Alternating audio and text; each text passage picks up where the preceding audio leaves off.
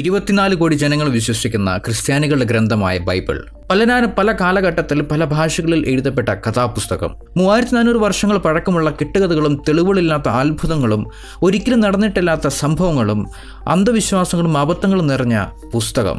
ഈ വീഡിയോ കാണാൻ പോകുന്ന പലരും എന്നെ പോലെ ജന്മം കൊണ്ട് ക്രിസ്ത്യാനിയായിരിക്കും. വീട്ടുകാർ തലയിൽ ചാർത്തിയ മതവും ദൈവവിശ്വാസങ്ങളും അത് പഠിപ്പിക്കുന്ന പുസ്തകവും എന്റെ യുക്തിബോധത്തിന് അംഗീകരിക്കാൻ കഴിയാത്തതാണ്. ബൈബിൾ എന്ന കഥാപുസ്തകം എന്തുകൊണ്ട് തെറ്റാണ്? അതിൽ പറഞ്ഞിരിക്കുന്ന കഥകൾ എന്തുകൊണ്ട് കെട്ടുകഥകളാണ്? ബൈബിളിലെ തെറ്റുകൾ എന്തൊക്കെയാണ്? ഇങ്ങനെ ഒരുപാട് ചോദ്യങ്ങൾ പലരുടെ മനസ്സിലും ഉണ്ടാകും അതിൽ തിരഞ്ഞെടുത്ത ചില ചോദ്യങ്ങൾക്ക് ഉത്തരം നൽകാനായി നമ്മളോടൊപ്പം ചേരുന്നത് എഴുത്തുകാരനും പ്രഭാഷകനും എസൻസ് ഗ്ലോബൽ എന്ന സ്വതന്ത്ര ചിന്താ സംഘടനയിലൂടെയും സുപരിചിതനായ ടോമി സെബാസ്റ്റ്യനാണ്. ഫോസുറിലേക്ക് സ്വാഗതം. ഞാൻ ജോ ഫോസ്.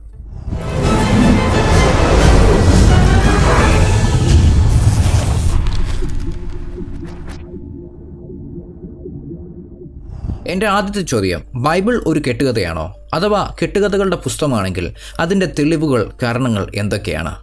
എല്ലാവർക്കും ഫോർ സ്റ്റോറിയുടെ ഒരു പുതിയ എപ്പിസോഡിലേക്ക് സ്വാഗതം. എത്ര പേർ ഒരു കഥയിൽ വിശ്വസിക്കുന്നു എന്നതല്ല അത് വസ്തുതയാണോ എന്ന് തീരുമാനിക്കുന്നത്. ലോകത്തിലേതാണ്ട് ഇരുന്നൂറ് കോടി മുസ്ലിങ്ങളുണ്ട്. അതുകൊണ്ട് അവർ വിശ്വസിക്കുന്ന കഥയിൽ ചന്ദ്രനെ പിളർത്തി എന്ന് പറയുന്നതോ കഴുതയുടെ പുറത്ത് കയറി സഞ്ചരിച്ചു എന്ന് പറയുന്നു പറക്കുന്ന കഴുതയുടെ പുറത്ത് കയറി സഞ്ചരിച്ചു എന്ന് പറയുന്നതോ യാഥാർത്ഥ്യമാവുന്നില്ല. ഒരു കാര്യത്തിന്റെ യാഥാർത്ഥ്യം അതിന്റെ വസ്തുതകൾക്കനുസരിച്ചാണ്. അതുകൊണ്ട് എത്ര കോടി ജനങ്ങൾ ക്രിസ്ത്യാനികൾ ബൈബിളിൽ വിശ്വസിക്കുന്നു എന്നതുകൊണ്ട് ബൈബിൾ സത്യമാണ് എന്ന് തെളിവായി നമുക്ക് എടുക്കാനായിട്ട് സാധിക്കില്ല. ബൈബിളിൽ പറയുന്ന കാര്യങ്ങൾ യാഥാർത്ഥ്യമല്ല അത് മനുഷ്യനിർമ്മിതമാണ് എന്ന് പറയുന്നതിന് ഞാൻ പ്രധാനമായിട്ടും നാല് കാര്യങ്ങളാണ് പറയുന്നത്. ഒന്ന് ബൈബിളിലുള്ള പരസ്പരം വൈരുദ്ധ്യങ്ങളായിരിക്കുന്ന കാര്യങ്ങൾ. ദൈവികമായിട്ടുള്ള ഒരു ഗ്രന്ഥമാണ് ബൈബിളെങ്കിൽ അതിൽ ഒരു ഒരിടത്ത് പോലും വൈരുദ്ധ്യം ഉണ്ടാവാൻ പാടില്ല. എന്നാൽ ബൈബിളിൽ ഒട്ടനവധി വൈരുദ്ധ്യങ്ങൾ നമുക്ക് കാണാനായിട്ട് സാധിക്കും. രണ്ടാമതായിട്ട് ഒരു ദൈവം പറയാൻ പാടില്ലാത്ത വിധത്തിൽ ധാർമ്മികമായിട്ട് വളരെ മോശപ്പെട്ടതായിട്ടുള്ള പല കാര്യങ്ങളും നമുക്ക് ബൈബിളിൽ കാണാനായിട്ട് സാധിക്കും. അതുകൊണ്ട് അത് ബൈബിൾ ദൈവികമാണ് എന്ന് കരുതാൻ പറ്റാത്തതാണ്.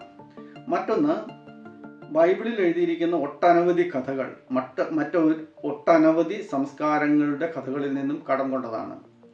അത് നമുക്ക് സുമേരിയൻ സംസ്കാരത്തിലും ബാബിലോണിയൻ സംസ്കാരത്തിലും ഗ്രീക്ക് സംസ്കാരത്തിലും ഇന്ത്യൻ സംസ്കാരത്തിൽ നിന്ന് പോലും ഒട്ടനവധി കഥകൾ ബൈബിളിലെ കഥകളുമായിട്ട് സാമ്യം നമുക്ക് കാണാനായിട്ട് സാധിക്കും.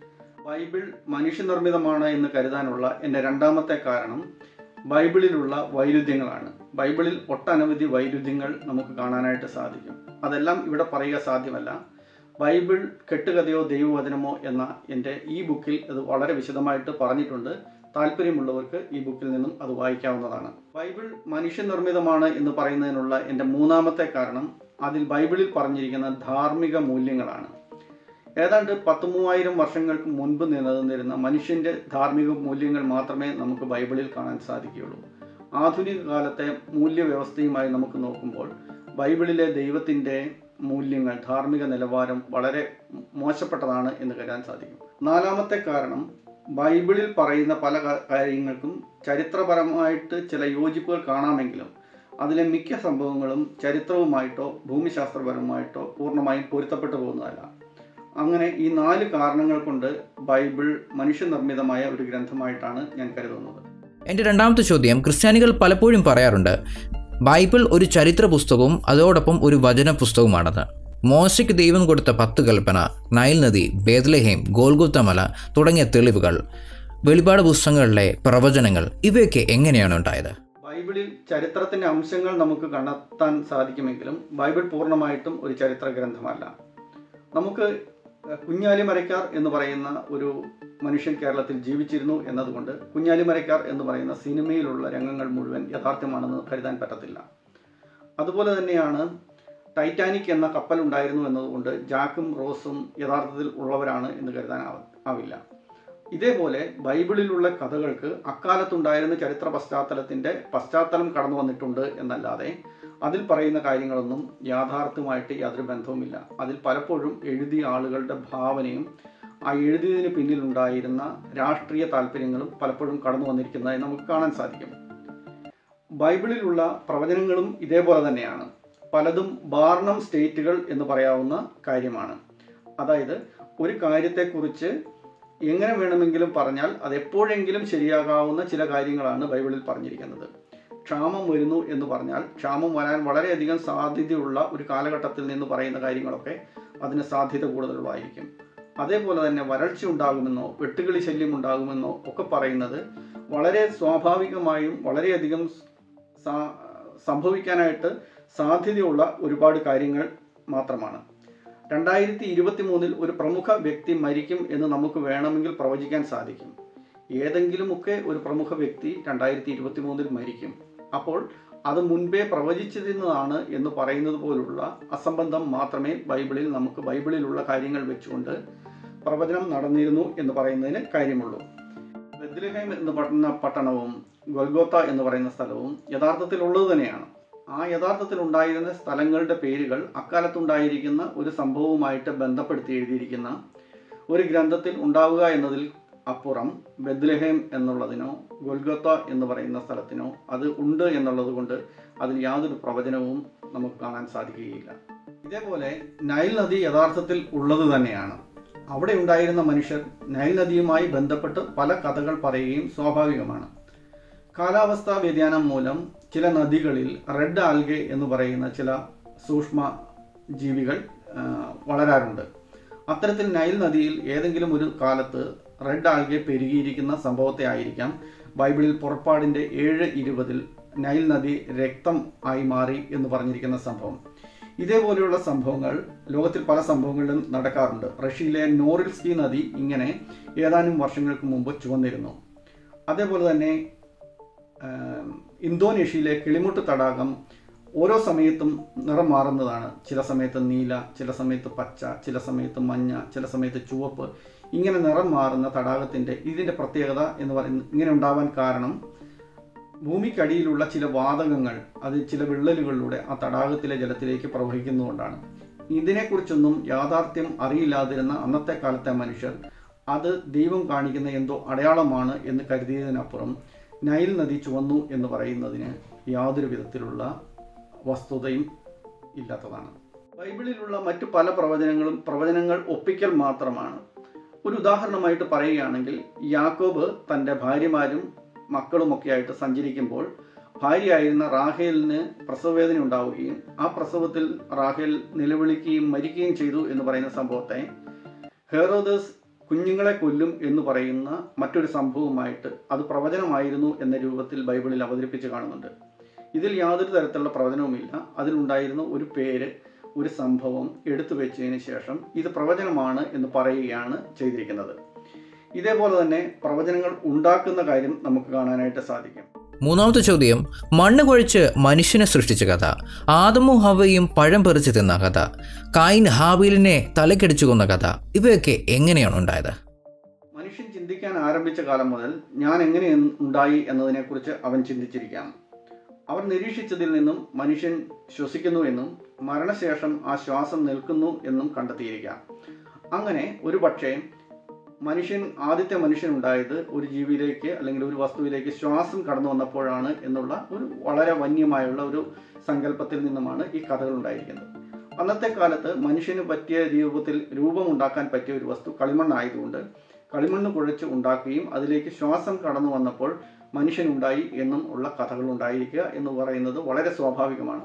ഇത്തരത്തിലുള്ള ഒട്ടനവധി കഥകൾ ഒട്ടനവധി സംസ്കാരങ്ങളിൽ ഉണ്ടായിരു നിലനിന്നിരുന്നതാണ്. ഇനി ആദമിന്റെയും ഹൗവയുടെയും കഥ അവർ പഴം പറിച്ചു തിന്ന കഥ ഒക്കെ എന്ന് പറയുന്നത് ഒരു പഴയ സുമേരിയൻ ഇതിഹാസത്തിൽ ഉള്ളതാണ്. നിൻഹുർ സാഗിന്റെയും എൻകിയുടെയും കഥ. അവിടെ അടാപ്പ വന്ന് അവർക്ക് പഴം പറിച്ചു കൊടുക്കുകയും ആ പഴം എൻകി കഴിക്കുകയും എൻകി ആ പഴം കറി കഴിച്ചതിൽ നിൻഹൂർ സാഗ് കോപിക്കുകയും നിൻഹൂർ സാഗിനെ ശപിക്കുകയും ചെയ്തു എന്ന് പറയുന്ന കഥ. ഒരു ബൈബിൾ ഉണ്ടാകുന്നതിനും ആയിരക്കണക്കിന് വർഷങ്ങൾക്ക് മുമ്പ് നിലനിന്നിരുന്ന സുമേറിയൻ ഇതിഹാസത്തിലെ കഥ മാത്രമാണ്. ബൈബിളിലുള്ള പല കഥകളും അതിനു മുമ്പുണ്ടായിരുന്ന പല നാടോടി കഥകളിൽ നിന്നും കടം കൊണ്ടവയാണ്. മനുഷ്യനെ മണ്ണിൽ നിന്നുണ്ടാക്കി എന്ന് പറയുന്ന കഥ നോഹയുടെ പ്രളയ കഥ പത്ത് കൽപ്പനകൾ യോനായുടെ കഥ ആദിപാപം അബ്രാഹമിന്റെ ബലി ബാബേൽ ഗോപുരത്തിന്റെ കഥ കായൻ ആബേലിനെ കൊല്ലുന്ന കഥ ദാനിയലിന്റെയും സിംഹത്തിന്റെയും കഥ മോശയെ നദിയിൽ നിന്ന് കിട്ടുന്ന കഥ ദാവീദിന്റെയും ഗോലിയാത്തിന്റെയും കഥ ബാലാമിന്റെ കഥ സംസാരിക്കുന്ന കഴുതയുടെ കഥ സാംസന്റെ കഥ യേശു കടലിന് മീതെ നടക്കുന്ന കഥ ലാസറിനെ ഉയർപ്പിക്കുന്ന കഥ ജോഷുവ സൂര്യനെ നിശ്ചലമാക്കി നിർത്തുന്ന കഥ ഏലിയാവിന്റെ ഒരിക്കലും തീരാത്ത മാവു ഭരണി യേശുവിന്റെ ഉയർപ്പ് എന്നിങ്ങനെ ഒട്ടനവധി സംഭവങ്ങൾ അതിനു മുമ്പുണ്ടായിരുന്ന പല നാടോടി കഥകളിൽ നിന്നും കടം കൊണ്ടവയാണ്. നാലാമത്തെ ചോദ്യം നോഹയുടെ കാലഘട്ടത്തിലെ വെള്ളപ്പൊക്കം പെട്ടകം തുടങ്ങിയവ അടിച്ചു മാറ്റിയ കഥകളാണ്? ബൈബിളിലെ നോഹയുടെ പ്രളയ കഥയ്ക്ക് സമാനമായിട്ട് ഒട്ടനവധി കഥകൾ പല പ്രദേശങ്ങളിലും ഉണ്ടായിരുന്നു. സുമേരിയൻ ഇതിഹാസമായ ഗിൽഗാമേഷിന്റെ ഒരു പുനരാവിഷ്കരണം മാത്രമാണ് നോഹയുടെ പ്രളയകഥ അതേപോലെ തന്നെ അത്രഹാസിന്റെ ഇതിഹാസം ബാബിലോൺ ഇതിഹാസം സിയസുദ്രയുടെ ഇതിഹാസം ഗ്രീക്ക് ഇതിഹാസം എന്ന് തുടങ്ങി ഇന്ത്യയിൽ നിലനിന്നിരുന്ന മത്സ്യപുരാണത്തിൽ വരെ ഈ പഴയ പ്രളയ കഥകൾ നമുക്ക് കാണാൻ സാധിക്കും. ഭൂമി പരന്നതാണ് എന്ന് കരുതിയിരുന്ന ഒരു കാലത്ത് മാത്രമേ ഇത്തരത്തിലൊരു കഥയുണ്ടാവാൻ സാധ്യതയുള്ളൂ. കാരണം ബൈബിളിൽ പറഞ്ഞിരിക്കുന്നത് ഭൂമിയിലെ ഏറ്റവും വലിയ പർവതത്തിനും പതിനഞ്ച് മുഴം ഉയരത്തിൽ വരെ വെള്ളം ഉയർന്നു എന്നാണ്. ഒരു പരന്ന ഭൂമിയിൽ മാത്രമേ ഭൂമി മുഴുവൻ വെള്ളത്തിനടിയിലാവുന്ന വിധത്തിൽ വെള്ളപ്പൊക്കം ഉണ്ടാവാൻ സാധിക്കുകയുള്ളൂ. അതുകൊണ്ട് ഇത് ഒരു അസംഭവ്യമായിട്ടുള്ള കഥയാണ്. എന്നാൽ ഇന്ന് ക്രിസ്ത്യൻ അപ്പോളജിറ്റുകൾ ഇക്കാര്യം പലപ്പോഴും അംഗീകരിക്കുന്നതായി കാണാം. അതൊരു ലോക്കൽ പ്രളയമായിരുന്നു എന്ന് പറയുന്ന പല അപ്പോളജിസ്റ്റുകളെയും നമുക്ക് കാണാനായിട്ട് സാധിക്കും. ഇതേപോലെ തന്നെയാണ് യോനായുടെ കഥ ബാബേൽ ഗോപുരത്തിന്റെ കഥ അബ്രാഹമിന്റെ ബലിയുടെ കഥ. ഇതെല്ലാം മറ്റ് സംസ്കാരങ്ങളിൽ നിന്നും കടക്കയറി കയറി വന്നിട്ടുള്ള കഥകൾ മാത്രമാണ്. അഞ്ചാമത്തെ ചോദ്യം ലോത്തിന്റെ ഭാര്യ ഉപ്പുകല്ലായി മാറിയ കഥ ബൈബിളിൽ പറയുന്നുണ്ട്. ഇസ്രായേലിലെ സോതോമലയുടെ മുകളിൽ കാണുന്ന കല്ല് ഉപ്പുതൂണായി മാറിയ ലോത്തിന്റെ ഭാര്യയാണെന്ന് പറയപ്പെടുന്നു. ഇതിൽ എന്താണ് സത്യം? കടലിൽ നിന്നും കയറി വരുന്ന ആമയുടെ രൂപത്തിലുള്ള ഈ പാറ മംഗോളിയയിലുള്ളതാണ്. ഇത് തുർക്കിയിലുള്ള ഫേറി ചിമ്മിനുകളാണ്. ഇത് ചില വിചിത്ര രൂപികളുടെ പോലെ തോന്നിക്കുന്ന ഈ പാറക്കൂട്ടങ്ങൾ റഷ്യയിലാണുള്ളത്. അയർലൻഡിലുള്ള ജയൻ കോസ്വേ എന്ന സ്ഥലത്ത് ചെത്തി അടുക്കി വെച്ചിരിക്കുന്ന തൂണുകൾ പോലെ ഉണ്ടാക്കിയിരിക്കുന്ന ഈ പാറക്കൂട്ടങ്ങൾ അയർലൻഡിൽ നമുക്ക് കാണാൻ സാധിക്കും. പല പ്രകൃതി പ്രതിഭാസങ്ങൾ മൂലവും ലോകത്തിന്റെ പല സ്ഥലങ്ങളിലും ഇങ്ങനെ ചില രൂപങ്ങളുടെ സാദൃശ്യങ്ങൾ നമുക്ക് കാണാൻ സാധിക്കുന്നവയാണ്. ഈ നോ ലോത്തിന്റെ ഭാര്യ ഉപ്പുതൂണായ കഥ എന്ന് പറയുന്നത് ഇതേപോലെ തന്നെ ഒരു പ്രത്യേക ആംഗിളിൽ നിന്ന് നോക്കിക്കഴിഞ്ഞാൽ ഒരു സ്ത്രീ നിൽക്കുന്നത് പോലുള്ള രൂപം നമുക്ക് സങ്കല്പിക്കാൻ സാധിക്കും എന്നതിലപ്പുറം ഇതിന് യാതൊരു സാങ്കത്യവുമില്ല. ഈ ഉപ്പുതൂണ് എന്ന് പറയുന്ന ഈ പാറയിൽ ഉപ്പും ഇല്ല അത് തൂണും അല്ല. ഇതിന് തൊട്ടടുത്തും ഇതേപോലെ തന്നെ മറ്റനവധി രൂപങ്ങൾ നമുക്ക് കാണാനായിട്ട് സാധിക്കും. പക്ഷേ ഒരു കഥ അത് ഒപ്പിക്കുന്നതിന് വേണ്ടി ഇത് ഈ കഥയിലെ ഈ ഭാഗമാണ് എന്ന് പറയുന്നതിനപ്പുറത്ത് ഇതിന് യാതൊരു സാങ്കത്യവുമില്ല എന്ന് മാത്രവുമല്ല ഇത് ക്രിസ്ത്യൻ ആളുകളെക്കാൾ കൂടുതലായിട്ട് ആഘോഷിക്കുന്നത് ഇസ്ലാമിക വിശ്വാസികളാണ്. കാരണം ക്രിസ്ത്യാനികളെ സംബന്ധിച്ച് ലോത്ത് ഒരു സാധാരണ മനുഷ്യൻ മാത്രമാണെങ്കിൽ ഇസ്ലാമിക വിശ്വാസം അനുസരിച്ച് ലോത്ത് ഒരു നബിയാണ് അവർക്കൊരു പ്രവാചകനാണ്. ലൂത്ത് നബിയാണ്. അതുകൊണ്ട് ഈ കഥയുടെ ഏറ്റവും വലിയ പ്രചാരകർ ഇസ്ലാമുകൾ ഇസ്ലാം വിശ്വാസികളാണ്. ആറാമത്തെ ചോദ്യം ബൈബിളിൽ തെറ്റുകളുണ്ടോ? പ്രധാനപ്പെട്ട തെറ്റുകൾ എന്തൊക്കെയാണ്? ബൈബിളിൽ തെറ്റുകളുണ്ടോ എന്ന് ചോദിച്ചാൽ തീർച്ചയായും ബൈബിളിൽ ഒട്ടനവധി തെറ്റുകളുണ്ട്. ഇതിൽ പ്രധാനപ്പെട്ട തെറ്റേത് അപ്രധാനമായ തെറ്റ് ഏത് എന്ന് നമുക്ക് വേർതിരിച്ചറിയ ബുദ്ധിമുട്ടാണ്. ബൈബിളിന്റെ തുടക്കത്തിൽ പുതിയ നിയമം മാത്രം നമുക്ക് നോക്കിയാൽ യേശുവിന്റെ ജനനത്തെക്കുറിച്ച് പറയുന്ന കാര്യങ്ങളിൽ ഒട്ടനവധി തെറ്റുകൾ കാണാൻ സാധിക്കും. ഒന്ന് യേശുവിന്റെ വംശാവലി രണ്ടു പേരെഴുതിയിലും തെറ്റായിട്ടാണ് വന്നിരിക്കുന്നത്. അതുപോലെ തന്നെ യേശു ജനിച്ച കാലഘട്ടത്തെക്കുറിച്ചുള്ള സൂചനകൾ വളരെ തെറ്റായിട്ടാണ് ബൈബിളിൽ വന്നിരിക്കുന്നത്. ഒരാൾ ഹെറോദേസിന്റെ കാലത്ത് യേശു ജനിച്ചു എന്നും മറ്റൊരാൾ ക്രീനിയോ സീസന്റെ കാലത്ത് യേശു ജനിച്ചിരിക്കുന്നു എന്നുമാണ് പറഞ്ഞിരിക്കുന്നത്. ഇനി അങ്ങനെ നോക്കിയാൽ യേശുവിന്റെ മരണസമയം വരെ നോക്കിക്കഴിഞ്ഞാൽ വളരെ തെറ്റായിട്ടാണുള്ളത്. യോഹനാന്റെ സുവിശേഷത്തിലെ സൂചനകൾ അനുസരിച്ച് യേശു മരിക്കുന്നത് ഒരു ബുധനാഴ്ചയാണ് എന്നാണ്. കാരണം സാപത്തിന് തലേ ദിവസമാണ് യേശു മരിക്കുന്നത്. എന്നാൽ മറ്റുള്ളവർ പറഞ്ഞിരിക്കുന്ന അനുസരിച്ചാണെങ്കിൽ സാപത്തിന് ശേഷം അതിന്റെ അടുത്ത ദിവസമാണ് യേശുവിനെ കുരിശിൽ തറയ്ക്കുന്നത്. അതേപോലെ തന്നെ കുരിശിൽ തറയ്ക്കുന്ന സമയവും നാല് സുവിശേഷകരും പലതരത്തിലാണ് എഴുതിയിരിക്കുന്നത്. ചിലർ രാവിലെ ഒൻപത് മണിക്ക് കുരിശിൽ തറയ്ക്കുന്നുവെന്നും മറ്റു ചിലർ പന്ത്രണ്ട് മണിക്ക് കുരിശിൽ തറയ്ക്കുന്നുവെന്നും ചിലർ അതിനുശേഷം കുരിശിൽ തറയ്ക്കുന്നുവെന്നും ഇങ്ങനെ പല തരത്തിലുള്ള വ്യാഖ്യാനങ്ങൾ കാണാനായിട്ട് സാധിക്കും. യേശു കുരിശിൽ തറച്ചപ്പോൾ ഉണ്ടായിരിക്കുന്ന സംഭവങ്ങൾ വിശദീകരിക്കുന്നതാവട്ടെ അതിലും ഒരുപാട് തെറ്റുകൾ നമുക്ക് കാണാൻ സാധിക്കും. അങ്ങനെ ബൈബിളിലെ ഒട്ടനവധി തെറ്റുകൾ ഉണ്ട് എന്നുള്ളത് വസ്തുതയാണ് അതിൽ പ്രധാനമേത് അപ്രധാനമേത് എന്ന് നമുക്ക് വ്യക്തമായി പറയാൻ പറ്റില്ല.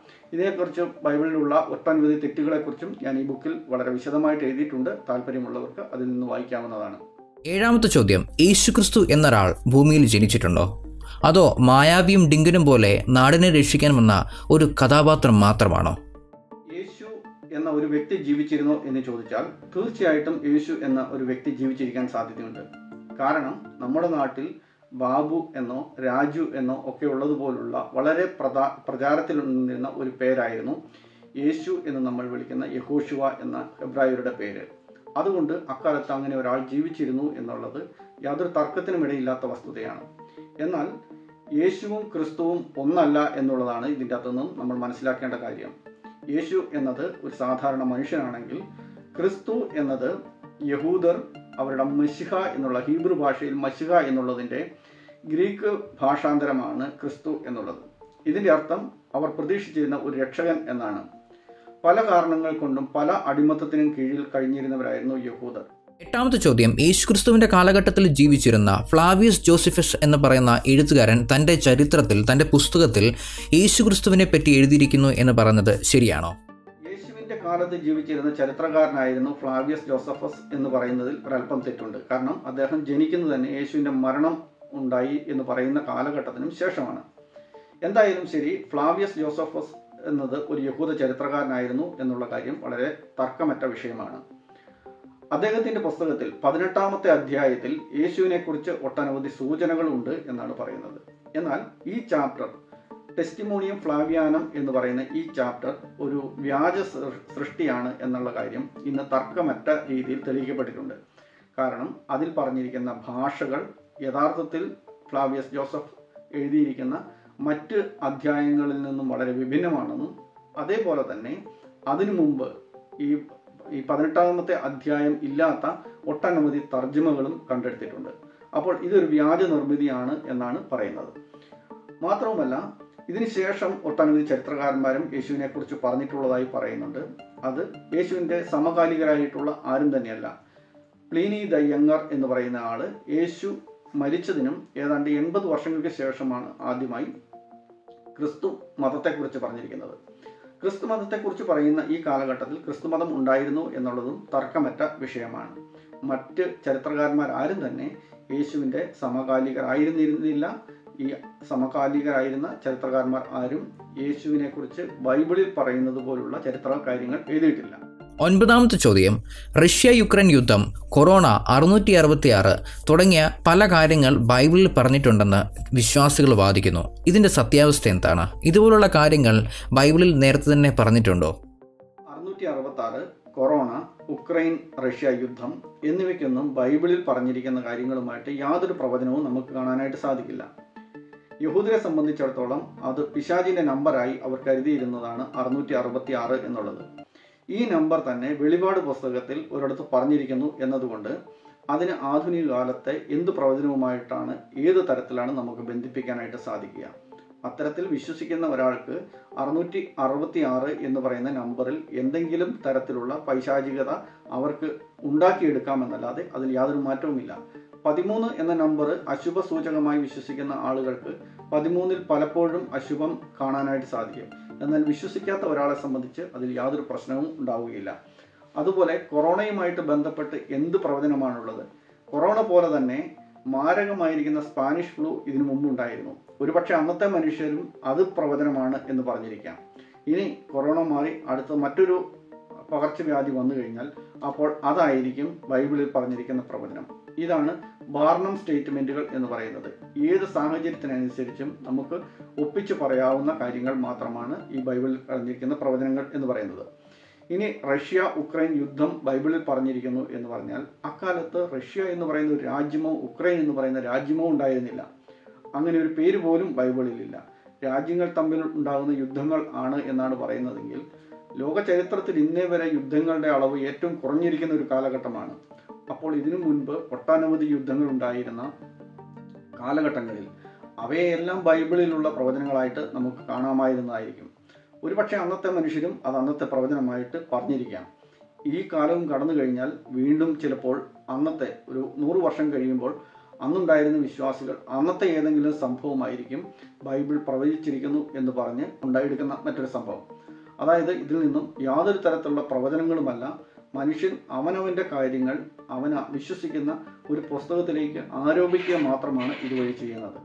പത്താമത്തെ ചോദ്യം കരിസ്മാറ്റിക് മീറ്റിങ്ങുകളിലെ അത്ഭുതങ്ങൾ രോഗശാന്തികൾ പ്രവചനങ്ങൾ ഇവയൊക്കെ എങ്ങനെയാണ് സംഭവിക്കുന്നത്? കരിസ്മാറ്റിക് പ്രാർത്ഥനകളിലെ അത്ഭുതങ്ങൾ രോഗശാന്തികൾ എന്നിവയെക്കുറിച്ച് നമുക്ക് ഇനി പറയേണ്ട ആവശ്യം തന്നെയില്ല കാരണം അതേക്കുറിച്ചുള്ള വസ്തുതകൾ നമുക്കെല്ലാവർക്കും വളരെ വ്യക്തമായിട്ട് മനസ്സിലാക്കിയിരിക്കുന്നതാണ്. രോഗശാന്തി നൽകുന്നവർ അവർ നട അവർ ഹയർ ചെയ്യുന്ന ആളുകളെക്കുറിച്ച് അതിന് നൽകുന്ന ട്രെയിനിങ്ങിനെ കുറിച്ച് അവർ പല സ്ഥലങ്ങളിലും മാറി മാറി പല രോഗങ്ങൾക്കും പറയുന്നതിനെക്കുറിച്ച് ഇതെല്ലാം ഇന്ന് ആധുനിക കാലത്ത് റെക്കോർഡിംഗ് സംവിധാനം വന്നതോടുകൂടി പൊളിഞ്ഞു പോയിരിക്കുന്ന സംഗതികൾ മാത്രമാണ്. എങ്കിലും ചില ആളുകൾ അതായത് തളർവാദമുണ്ടായി അവർ എഴുന്നേറ്റ് നടന്നിരുന്നു എന്ന് പറയുന്നതിനൊക്കെയുള്ള ചെറിയ കാരണം എന്ന് പറയുന്നത് ഒരുപക്ഷെ വലിയ ആൾക്കൂട്ടവും പ്രാർത്ഥനയും ഒക്കെ ഉണ്ടാകുമ്പോൾ നമ്മുടെ ശരീരത്തിൽ ഉണ്ടാകുന്ന ഡോപ്പമിൻ എന്ന് പറയുന്ന ന്യൂറോ ട്രാൻസ്മിറ്റേഴ്സ് അതൊരു വേദന സംഹാരിയായിട്ട് പ്രവർത്തിക്കുകയും കൈക്കോ കാലിനോ വേദന മൂലം അനങ്ങാൻ പറ്റാതിരുന്ന മനുഷ്യർ ആ ഒരു പ്രത്യേക സാഹചര്യത്തിൽ അവരത് വേദന മറന്നുകൊണ്ട് എഴുന്നേറ്റ് നിൽക്കുകയും ഒക്കെ ചെയ്യുന്നതായിട്ടുള്ള ചില സംഭവങ്ങൾ ഉണ്ടാവാൻ സാധ്യതയുണ്ട്. പക്ഷേ യഥാർത്ഥത്തിൽ ഇത് വളരെ അപകടകരമായ സാധ്യത പ്രശ്നമാണ് എന്നാണ് നമുക്ക് പറയാനുള്ളത്. കാരണം വേദന എന്ന് പറയുന്നത് നമ്മുടെ ശരീരത്തിൽ ഉണ്ടായിരിക്കുന്ന മറ്റൊരു പരിക്കിനെ കുറിച്ച് നമുക്ക് തലച്ചോറിനെ ബോധവാന്മാരാക്കാനുള്ള ഒരു ഒരു ഒരു സംഗതി മാത്രമാണ്. അപ്പോൾ യഥാർത്ഥത്തിലുള്ള പ്രശ്നത്തെ ചികിത്സിക്കാതെ വേദന തോന്നിക്കാതിരിക്കുമ്പോൾ ഒരാൾ ചാടി എഴുന്നേൽക്കുകയോ ഒക്കെ ചെയ്യുമ്പോൾ അയാൾക്കുണ്ടാകുന്ന ന്യൂറോളജിക്കലായിരിക്കുന്ന പ്രശ്നം കൂടുതൽ ഗുരുതരമാവാനാണ് സാധ്യത. അല്ലാതെ ഇതിനപ്പുറത്ത് യാതൊരു വിധത്തിലുള്ള രോഗശാന്തിയോ അത്ഭുതങ്ങളോ ഇല്ല. എന്ന് മാത്രമല്ല ഈ രോഗശാന്തിയും അത്ഭുതങ്ങളും കാണിക്കുന്ന ആളുകൾ അവരൊരിക്കലും ഇത്തരത്തിലുള്ള രോഗശാന്തിക്കോ അത്ഭുതത്തിനോ നിന്നു കൊടുക്കാറില്ല എന്നതും ഇതൊരു തട്ടിപ്പ് ആണ് എന്നുള്ളതിന്റെ വ്യക്തമായിട്ടുള്ള സൂചനയാണ് നമുക്ക് കാണാൻ സാധിക്കുന്നത്. പതിനൊന്നാമത്തെ ചോദ്യം. കർത്താവ് എന്റെ അരികിൽ വന്നു എന്നോട് സംസാരിച്ചു ഞാൻ അവന്റെ ശബ്ദം കേട്ടു ഞാൻ അവനെ അനുഭവിച്ചറിഞ്ഞു എന്ന് ചിലർ പറയാറുണ്ട്. അതെങ്ങനെ സാധിക്കും? നേരിട്ട് കണ്ടു ശബ്ദം കേട്ടു എന്നൊക്കെ പലരും പറയുന്നത്. യഥാർത്ഥത്തിൽ നമുക്ക് ഈ അനുഭവങ്ങളൊക്കെ ഉണ്ടാക്കുന്നത് നമ്മുടെ തലച്ചോറിലുള്ള ചില ന്യൂറോ ട്രാൻസ്മിറ്റേഴ്സ് ആണ്.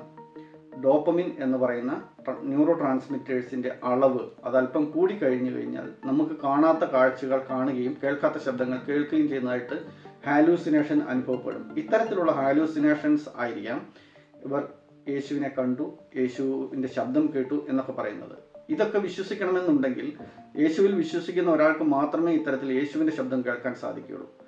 എന്നാൽ അതേസമയം മറ്റൊരു ദൈവത്തിൽ വിശ്വസിക്കുന്ന ഒരാളെ സംബന്ധിച്ച് അയാൾ കേൾക്കുന്നത് അയാളുടെ ദൈവത്തെ മാത്രമായിരിക്കും.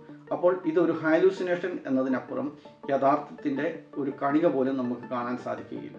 പന്ത്രണ്ടാമത്തതും അവസാനത്തതുമായ ചോദ്യം. വിശ്വാസികൾ പറയുന്നത് പോലെ ഈ പ്രപഞ്ചത്തിന് ഒരു സൃഷ്ടാവിനെ ആവശ്യമുണ്ടോ?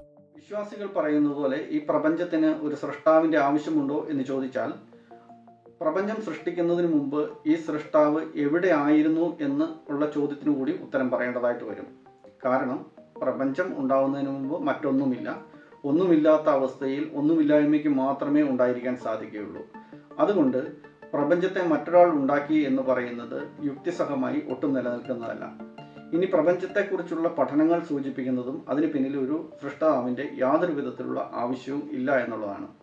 ഇന്ന് ശാസ്ത്രം എത്തിച്ചേർന്നിരിക്കുന്നത് ഒരു ബിഗ് ബാങ്ങിലൂടെ ഒരു സിംഗുലാരിറ്റിയിൽ നിന്നും ആണ് ഈ പ്രപഞ്ചം ഉണ്ടായതെന്നും ആ പ്രപഞ്ചം ഉണ്ടാക്കുന്നതിന് പുറകിൽ മറ്റൊരാൾ വന്നിരുന്നു എന്നുള്ളത് യാതൊരു തരത്തിലും നമുക്ക് സങ്കല്പിക്കാനാവാത്തതോ അല്ലെങ്കിൽ യുക്തിസഹമല്ലാത്തതുമായിട്ടുള്ള കാര്യമാണ്. അതുകൊണ്ട് വിശ്വാസികൾ അവരുടെ വിശ്വാസത്തെ എല്ലാത്തിലും തിരികെ കയറ്റുന്നത് പോലെ ഇപ്പോൾ ഈ പ്രപഞ്ചത്തെക്കുറിച്ച് വളരെ എവിഡന്റ് ആയി വന്നിരിക്കുന്ന സിദ്ധാന്തമായ ബിഗ് ബാങ്ങിന് പിറകിലും ദൈവത്തിന്റെ കരങ്ങളുണ്ട് എന്ന തരത്തിൽ പലരും പറയുന്നുണ്ട്.